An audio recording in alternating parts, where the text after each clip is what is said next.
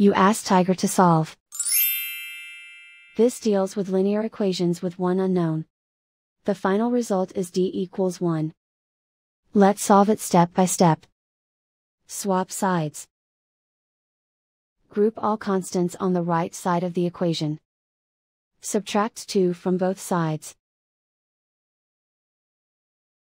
Simplify the arithmetic.